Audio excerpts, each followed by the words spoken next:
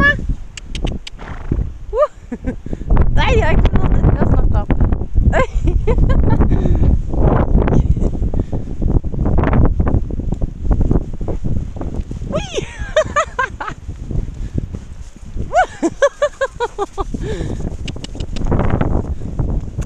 Herregud, for en humpete film.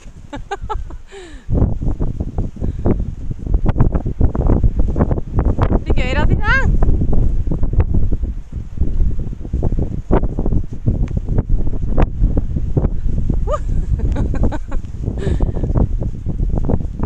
Du gå der, Tina?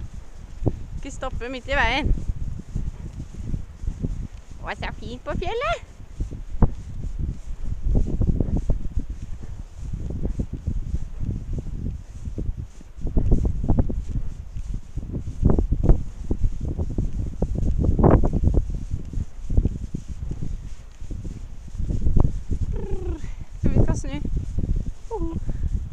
Sånn. Katina, nå skal vi hjem.